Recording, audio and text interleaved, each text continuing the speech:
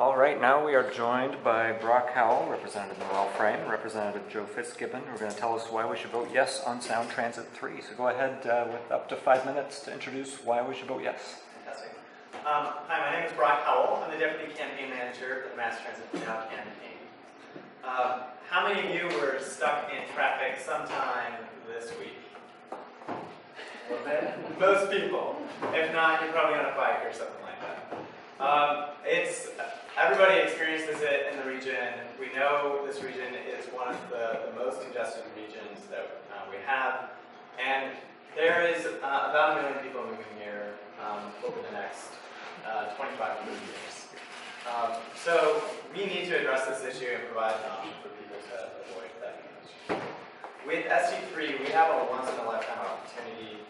Um, we failed to pass forward thrust in 1968, 1970, which would have built out this light rail system, or a rail system connecting Tacoma to Everett. And for the first time, we finally have the opportunity to have that on the ballot of being able to connect this region and get us out of traffic. Um, the, there are some big wins for here in Ballard with the Ballard to downtown uh, light rail, which will connect into the Tacoma uh, line eventually.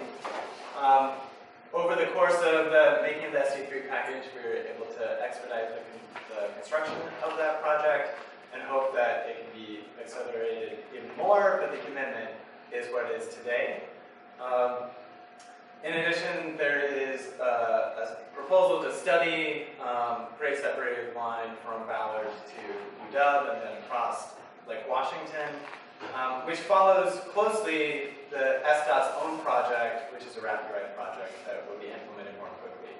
Um, and so we can look forward potentially to another project in the future. But in the big picture, this is about making sure that people get around this region. Um, for there's um, every major employer in the region will be connected by light rail, whether it's the uh, software giants of Microsoft and Amazon and Expedia, um, or the engineering for, or the sorry, the aerospace uh, jobs of Boeing uh, up in Paine Field, at Boeing Field, and in Renton, Kent, through the bus rapid transit connections in South County. Um, in addition, so there's about 93% of the region's jobs when this is done are going to be connected by this mass transit system. Um, and over 80% of people uh, will be within two and a half miles of the light rail system, making it uh, a truly a, a, connected region. This is also about making sure that we're living up to some of the other values we have. Uh, we believe in addressing global warming. This is the one measure on the ballot this year that every, there's unanimous consent that we should keep uh, passing it in order to uh, reduce global warming pollution um, from our transportation sector. Transportation is the number one uh, pollutant for us in this, re uh, in this uh, region, um, and so we must address it, and rail is a big part. Obviously, we are really concerned about affordability of our community. Um, the number one uh, factor in whether someone can move up the economic ladder is transportation. So number two cost for a household. Um, it provides access to education. It provides access to jobs. Um, so all of the national studies say we need to make sure that we have reliable, affordable transportation that we provide to more people. By connecting more than 80% of the people in this region and 93% of the jobs will be providing that opportunity for more people to, uh, to move up the economic ladder. Um, and so with that, you know, we have this, it's been since 1970 since we've had this opportunity. We can talk about all the other things that we failed to do along the way, which I'm sure will come up regarding like taxes or whatever else. Um, but we finally have this on the ballot of where we can connect our region, including making sure that uh, this district is connected to the system. And so with that, we uh, strongly hope for your endorsement to follow that of many other LDs around the, uh, the region, um, and many of our Democratic leaders around the region as well, um, like Joanne and Noel. So with that, thank you, and happy to take questions. Great. So now we'll ask follow-up questions. We'll start with Michael. Um, I think that the light rail expansion gets a lot of the um, coverage because it's kind of the exciting thing and probably the thing that I'm most excited about. But could you talk a little bit more about the bus rapid transit and especially the like improvements to the sounder? What are what are, what are those actually? Yeah, so there's um, three other big improvement, or three other improvements to other forms of transit in the region. You highlighted some. Um, there are three bus rapid transit, four bus rapid transit projects uh, that uh, I think we should pay attention to. The, the big ones, which are sound transit only projects, um, is helping uh, kind of 405 corridor of connecting Lynnwood to Bothell to, um, to Bellevue to Renton and then back to Burien, uh, which I'm sure Joe will enjoy to be able to have quick access to Bellevue Yes. um, via 405. Uh, the, the other is connecting across the north end of Lake Washington from the 145th station, which uh, straddle is going to be now 148th, I think, but uh, it basically straddles Seattle and, Snow- and Shoreline, um, and then connects on SR 522 over to Bothell. Um, and so that uh, the community there really advocated very strongly for that and become part of that. The two others are partnership projects. Um, one is with SDOT uh, to uh, do a rapid ride on Madison on Capitol Hill, and the other is with Pierce Transit on Pacific Avenue. Um, and that funding is still being uh, sorted out to make sure that's a full project down uh, in Pierce Transit, but it's a huge win. Sounder gets uh, increased service um, on the south line and in, and in addition extension uh, to, all the way to DuPont. And then in the interim of us getting light rail uh, service and the, the system being built out, the ST Express buses across the system also get uh, increased service. Um, so that's the third piece. Sarah and then Evan and Summer.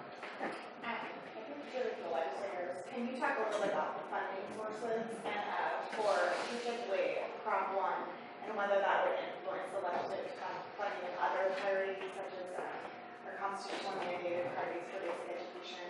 And then I have one more question, and that was just based on, I think the opponents, um, talked about, you know, Crown Canada spending almost one million dollars on a party, and they, they kind of were, I think, um, their inclination was to say that, uh, yes, funds weren't being spent wisely to date, so if you address that too.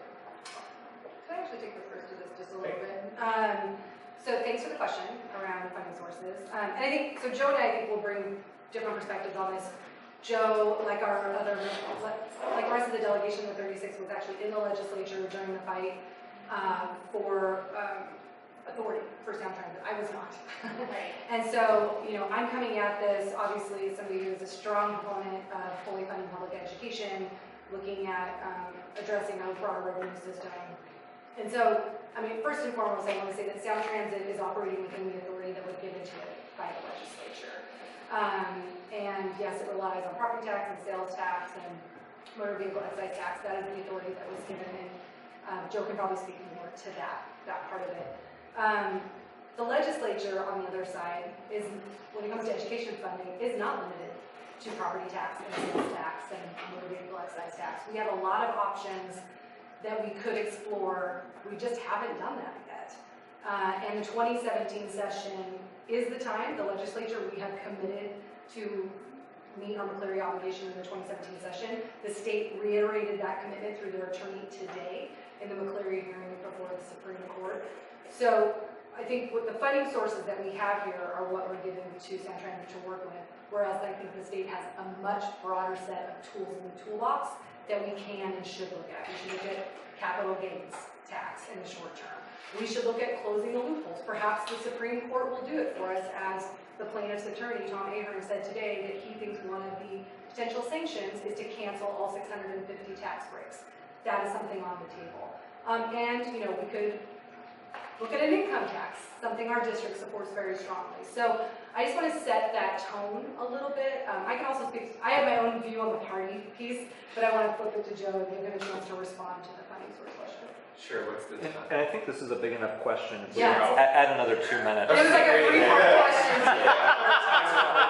And- and- Yeah, but, yeah, go ahead and. Thank you. Yeah. Um, so, The, the, the tax sources in, uh, Transit measure are property tax, sales tax, and motor vehicle excise tax. And those are sort of the classic tools that have been used for building transportation infrastructure in our region, funding, um, and that in large part went away, um, you know, due to an Eyman initiative, but, um, the one part of it that's remained has, has been dedicated to sound transit construction. The sales tax is super aggressive, we all hate it, but that is how we fund both buses and rail construction in our region. And then the property tax, which is not, it's not the first time property tax has been used for a transportation measure. We have King County Metro receives money from a property tax levy as King County Ferry District and other transportation sources. I don't put the onus on a local agency to lead the way on tax reform in the state. That's the legislature's job, and that's something that we haven't done yet, but which the McCleary decision gives us a huge amount of pressure to do. Um, I consider that a, a feature, not a bug, of the Sound Transit plan. You know, it, it uses the property tax and forces the legislature to get more creative, forces us to look at closing unproductive tax loopholes, or a capital gains tax, or some kind of revenue from carbon pollution. That's a good thing. If we are already conceding that we're gonna be using, you know, a property tax increase, particularly going to be a steeper property tax increase in Seattle than in the, the rural parts of the state. As our McCleary solution, I consider us to have already ceded that ground to Republicans.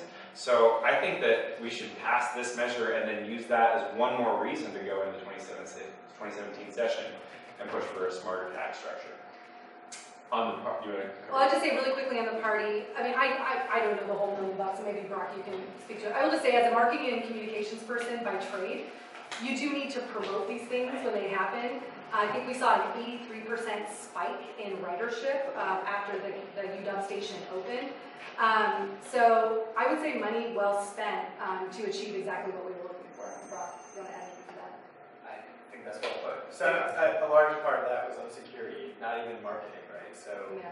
um, it was a much smaller piece just on marketing. given. It was a huge moment for our city, you know, huge, uh, opening up Light Rail and connecting our downtown with our densest neighborhood with our university. That's a moment of civic pride and, you know, And and on the scale of what Sound Transit spends to build infrastructure, I'm okay with it. And the week, what was it, a couple weeks after the five twenty Bridge Mhm. Festival, Yeah. which I don't know how much they spent, but if we're gonna have a big celebration for a road, I think we can have a big celebration for a light rail.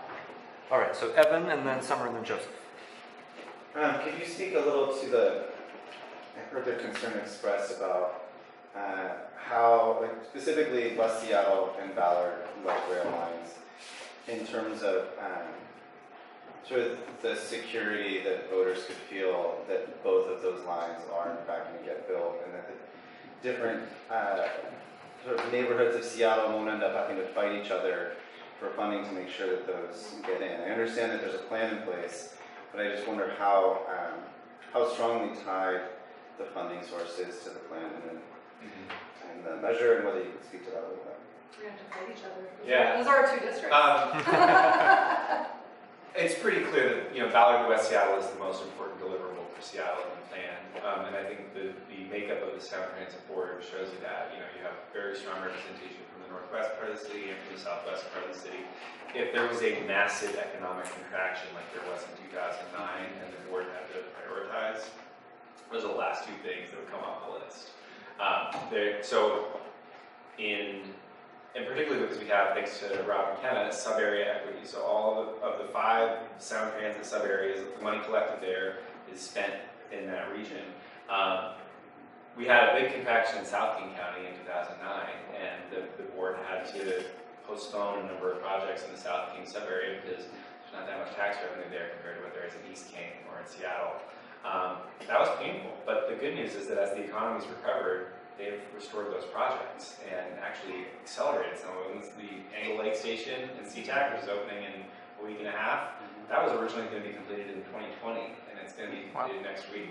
Um, so, you know, the, the ballot measure doesn't bind the board to construct things at this, on this timeline, because that would be fiscally irresponsible. But, I can tell you, not taking out Ballard or West Seattle, those are not, those are the number one and number two projects, uh, for the core of our region, and, um, and I, it would be fiscally irresponsible, I think, to bind an agency to a timeline, um, not knowing what the economy is gonna be like fifteen years from now, but those projects are not going away. Cool, thanks. Summer, then Joseph. So any vote is, seems like, you know, it's such a binary choice. But this one feels particularly so, like if we don't do this, then we don't get, I mean, we're, we're not gonna vote for nice things, then we're not gonna have nice things. It's definitely how it feels to me. I grew up in Oregon, I remember growing up, everybody said, oh, the max is gonna take so long to be built out, and it, you know, it's built out, and it's amazing, and it's impressive and inspiring, and I see that that's what's happening here. Can you also talk to what if this fails? Like, what does that mean? Like, what's the, what's the flip side? Because to me, it, it seems like that's unthinkable. I mean, I, just my humble opinion, I mean, we are growing so rapidly and congestion is really bad, right? I mean, it's really bad and it is, it's nice that we're growing so fast and that we are drawing in so many incredible economic engines. If this fails, I mean, I can't speak for them, but you gotta think that future employers are gonna think really long and hard before they site their companies here, um, if we don't have a transportation structure. It's, I mean, I think we're all feeling it. I know I hear it almost every day when I'm out in the community, how unaffordable this community has gotten, how hard it is to get to work. I just, I can't imagine the, the growth and the economic growth is gonna continue at the rate if we don't have this. I, I think the other thing to think about is it only gets more expensive as you go, right? Um, it's only gonna be longer out there until we can have the transportation system if it goes down. Um, and so if we are to, to lose, uh, this year, we're looking at a really long time before we're gonna have transit service and we're gonna have, uh, an inflated cost compared to what it is today. And so it is important that we act today. Um, we would only likely come back, uh, you know, every four years, maybe every eight years. You know, the last time we did was in 2008 because it was a presidential election. Um, we're time. It's been this year, 2016, has been looked at for a really long time for ST3 because it's the eight-year presidential cycle. Um, so it could be a while before it comes back, and that would be a bad thing for for congestion, for jobs, for how much it costs when we get And I'll just say the real painful thing about that, um, when, you know, we passed a transportation package in twenty fifteen that was fifteen billion dollars for new highways and expanded highways and fifteen billion dollars in taxing authority for sound transit to build a great transit system in our region. Um, you know, for those of us who wanna build a multimodal transportation infrastructure, if we vote this down, we've said that they're still getting the fifteen billion for highways. Those highways are still gonna get bigger and expanded around the state. But meanwhile, we missed this huge opportunity to have transit, so all that political leverage gone. Joseph? So, two parts, not related. So the first, first question, um, what have we learned and, and how are you implementing this in the current campaign from the last time it failed in 1970? And then also, could you, I know the political landscape is probably pretty different as well, but the, the second part too, can you address um, building out the spine argument? Tim? I, I'll do my best. You can add in. Um, so in 70, it was a supermajority vote. Um, that is one lesson: don't have supermajority votes. uh, so this is a majority vote. Second piece is um, show that it works. Um, and so having Sound Move passed in the late 90s, um, getting ST2 in 2008 are part of being able to uh, prove to the public that this was going to be successful. So starting incrementally, and I think that's another lesson. That's not something that myself as a campaigner learned, but it's something that the agency and those in the broader community have learned and, and implemented. Um, I think the spine is, uh, you know, it is part of our regional narrative of who we are. And I think that is a critical part of continuing to push that. As a Seattleite, I sometimes like to think, oh, I could do so much with uh, sidewalk improvements or you know just hyper local improving things. But we are in this together. Um, we are collecting taxes together. It is important that each part of our region uh, connects to the to the mass transit system. I feel like Sound Transit's done a, I mean, they've had a hard job to balance all the competing interests of the different communities. And I remember, you know, we were in a car with June Robinson and comparing when Everett's getting their light rail versus when Ballard's getting it. And I think they had a tough task, um, and they balanced it pretty well. I think in Ballard, we had very specific requests. Um, we had a huge turnout in public, um, public feedback at the Ballard High School hearing. We asked to have some years shaved off of the arrival time. We asked for grade separated rail. Um, we didn't get everything we wanted, but we got those two things. And I- think that that's something that we need to think about. The other thing too is, you know, we're talking about something that is arguably 20 years out, and we're not just thinking about the, our people that live in our district today, but the people that frankly can't afford, won't be able to afford to live here 20 years from now, because that is the, the trajectory that we are on. And so building out to other communities outside of Seattle is gonna allow those folks to still be able to get to their jobs. That's an, that issue of, of economic equity is actually, for me, one of the most personal reasons that I'm supporting Sound Transit. That people need to get to work. Uh, this is an agency that covers half the state's voters, and, you know, if this was a Seattle-only vote, then I would say, let's build the best rail system in Seattle possible, but I'm not asking, I don't wanna ask people in Mill Creek and in Lakewood, um, to pay for a Seattle transit network, and they don't feel like they're getting something in return, you know? There's, it- we need to build something for the whole region, even if the, the best stuff that we're building is here in Seattle, you know, there needs to be something in Everett, so that those people who are gonna be paying their taxes too feel like it's worth it. So we're about out of time. If you guys want to take 30 seconds for a closing statement? Yeah. We had discussed ahead of time if there were additional questions, we- Yeah. we forego our closing statement, so we're happy to field additional questions. We can chat off camera if we want, but um, thank you all for coming.